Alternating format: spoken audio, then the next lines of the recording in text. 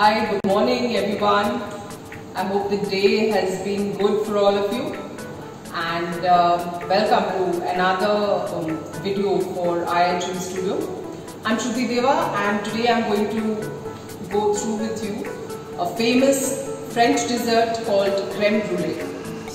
Alright, so let's see the uh, ingredients that we require for creme brulee. So we've got heavy cream here, 240 ml We've got caster sugar, 50 grams. We have three egg yolks. So three eggs have been separated. And we have uh, some vanilla essence. It's a vanilla creme brulee and uh, that's why we're going to flavor it with vanilla. So here we have the cream that we're going to heat up over a low flame and we just leave it until it reaches boiling point and we take it off quickly from the heat. We mix the sugar, the egg yolks and the vanilla essence in a separate bowl and we start creaming it. We whisk the egg yolks until it's a little pale and creamy. Then we add in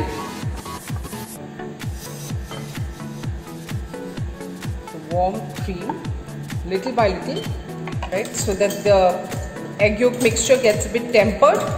Do this in two or three uh, intervals. So as we know, creme brulee is a classical French dessert. It actually means burnt cream and mostly flavored with vanilla.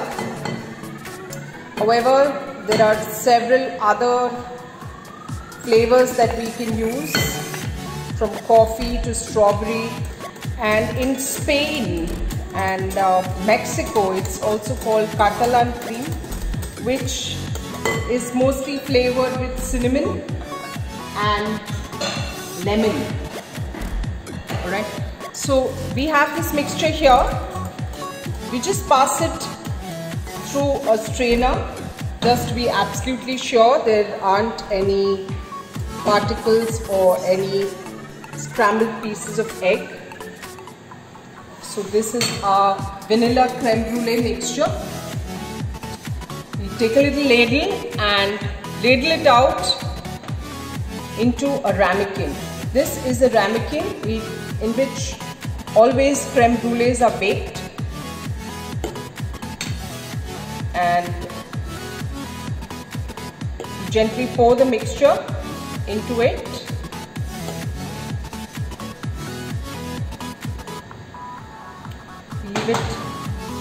So here we have the ramekins filled and we place it in a water bath, right? Because as we know, we can't bake custards in dry heat. So we've set the oven at 160 and we set the timer for around 30 minutes. You just set the timer let's wait and watch how it bakes. So the creme brulee has been baked for around 30 minutes at 150 and we just caramelize the top in this way with a blowtorch.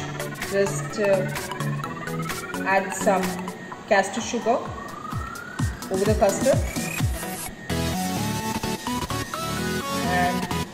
caramelize at all areas so that it's even color everywhere. And there's a nice thin film of caramelized sugar over the custard.